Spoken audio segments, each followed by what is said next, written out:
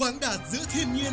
nằm trong lòng biển ngọc với ngôn ngữ kiến trúc thăng hoa, ba tòa tháp mang đậm nét thanh tao, độc đáo như khu rừng lộng lẫy trên cao, cùng 999 vườn hoa như treo giữa biển trời. Flamingo Cát Bà Beach Resort, nơi dẫn đầu phong cách thượng lưu tại thiên đường nghỉ dưỡng trên cao, cùng vị thế đỉnh cao, mặt hướng biển, lưng tựa núi, quy tụ siêu tổ hợp dịch vụ tiện ích khép kín chuẩn năm sao, quy mô xứng tầm thế giới. Flamingo Cát Bà Beach Resort, bản giao hưởng bốn mùa đến từ đại dương để viết nên một huyền thoại.